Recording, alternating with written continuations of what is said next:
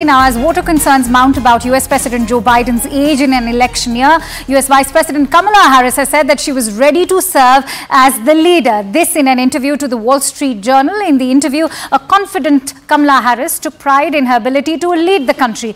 As we all know, Harris has broken the glass ceiling as the first black, South Asian and female vice president in US history. Now, the WSJ interview uh, that uh, carried out two days before a stinging special counsel report portrayed Joe Biden as elderly and forgetful. The special counsel uh, Robert Hur's probe report into Biden's handling of classified documents said that the president should not face charges but damningly said he would come across to a jury as a well-meaning elderly man with a poor memory.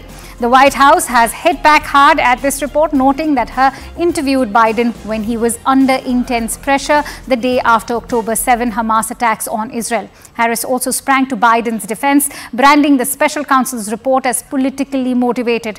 Harris has taken on a growing role in Joe Biden's re-election campaign, focusing on subjects including abortion ahead of November's vote in which he is expected to face a rematch with former US President Donald Trump.